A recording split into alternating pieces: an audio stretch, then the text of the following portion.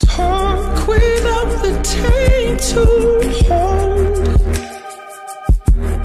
the doubts that should embrace your whole. The calm and chaos of your soul. You know you might surprise yourself.